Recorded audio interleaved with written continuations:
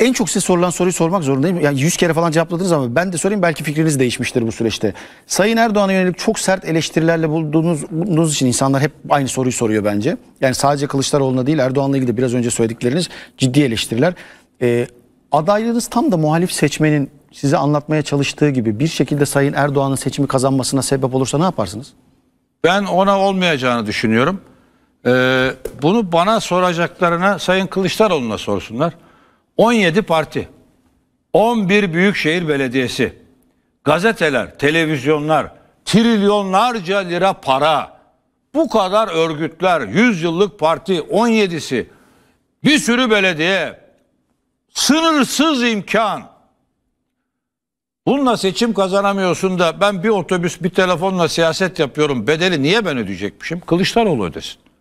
10 kere kaybetmiş 11.ye bir daha kaybetsin. Niye ben ödüyorum ya? Demokrat bu ihale mafyası mı bu? Bu seçime benden başka kimse giremez. Hani bazı ihalelerde oluyor ya. Topuğuna sıkarım bu ihaleye girersen.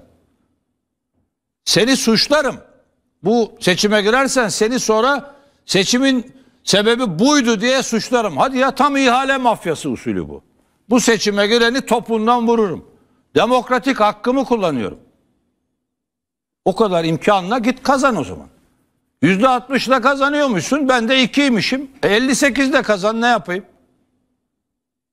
Öyle bir dünya yok. Kendine bakacaksın. O kadar imkanla kazanamıyorsan kendine bakacaksın. Beni ne suçlayacaksın?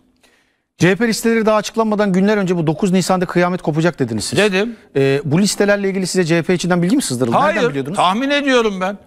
Karga sesiyle bülbül sesini ayırt etmek için müzisyen olmaya gerek yoktur. Bugün Beylikdüzü'ne giderken bir bina gördüm. Yanındaki arkadaşlara dedim ki ya şu bina, bu binanın dedim. Bu şehrin bağrına saplanmış bir hançer olduğunu anlamak için mimar olmaya gerek var mı? Mimar olmaya gerek yok. Ben dedim 9 Nisan'da kıyamet kopacak dedim. İşte gösterdim demin 77 kişi. CHP'nin 130 milletvekili var. Yarısından fazlası. Bakın bir şey söyleyeyim size. Bunlar seçim oldu mu pazartesi günü istifa edecekler CHP'den. CHP parlamentoda ana muhalefet olamayacak. Parlamentoda. Yazık değil mi? Bu sizin öngörünüz. Yani sa- sizin, Ne yorum- öngörüsü? bu sizin yorumunuz. Göreceksiniz. E, olursa ne yapacaksınız Muharrem Bey? O- Tam ya- tersi. Ama bakın göreceğiz yani bundan.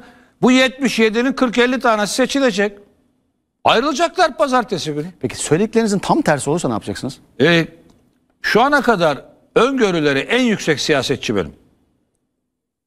Şöyle bir geçmişe bakarsanız öngörüleri en... Dokunulmazlıklar konusunda Sayın Kılıçdaroğlu ile ters düştük. Yapma etme dedim. Ben hayır oyu verdim o evet oyu verdi. Önce HDP'lileri tutukladılar sonra CHP'lileri tutukladılar.